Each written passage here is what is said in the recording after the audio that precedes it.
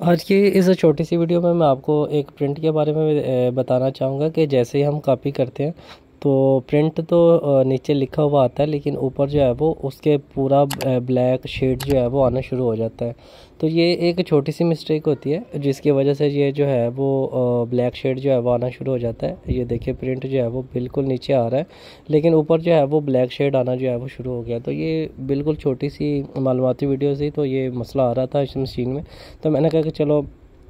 मैं इसकी जो है वो एक वीडियो बना के जो है वो अपलोड कर देता हूँ ताकि सब भाइयों को पता चल जाए कि इस मसले को जो है वो आपने हल कैसे करना है। सबसे पहले तो आपने इसका ड्रम का जो ये चार्जर है सॉरी जो कवर है, इसको खोलना है और इसके अंदर जो ये अंदर जो चार्जर लगा हुआ है, इसके अंदर देखेंगे कि तो यहाँ पर एक क्लीनर लगा हुआ है, जिसे कि आम लफ्ज़ों में ज़्यादातर लोग जो है वो इसे रेगमार के तौर पर कहते हैं कि ये रेगमार है।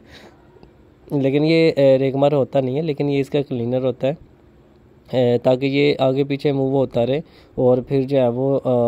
ताकि जो है वो ड्रम के ड्रम के ऊपर जो जाली के ऊपर जो टोनर आता है वो क्लीन होता रहे, ताकि यहाँ पे जो है वो काली पट्टी के आने जो, आने के जो है वो कम चांस हो। लेकिन ये चार्जर जो होता है वो अक्सर पीछे आके, दरमियान में आके अटक जाता है, जिसकी वजह से जाली की जो चार्जिंग होती है, ये अन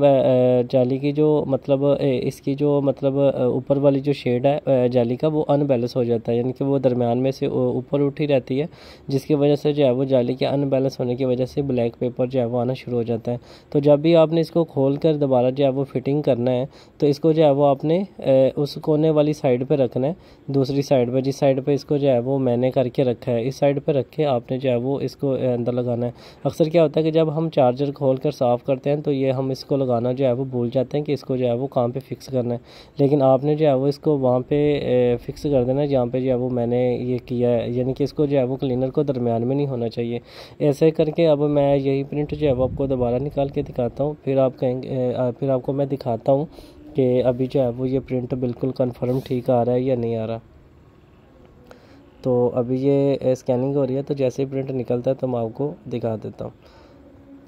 ये देखें कि अभी जो प्रिंट है वो बिल्कुल नीट एंड क्लीन आ रहा है। कोई भी ऐसा मसला नहीं आ रहा। है ये पहले वाला प्रिंट है और अब जो ये प्रिंट आया है, ये इस तरह का आ रहा है। तो ये एक छोटी सी मालूमती वीडियो थी तो मैंने सोचा कि आप सब भाइयों के साथ शेयर कर दूँ, ताकि कल को अगर आपकी मशीन का भी कभी ऐसा मसला आए या अभी ऐसा मसला प्रिंट के अंदर शेड आ रहा है तो सबसे पहले चाहे वो आप अपनी मशीन का जो है वो चार्जर चेक करें कि क्या चार्जर के अंदर कोई मसला मसाइल तो नहीं है। अभी मैं इसकी मल्टी लगा के डबल साइड भी चेक करवा देता हूँ और सिंगल साइड भी।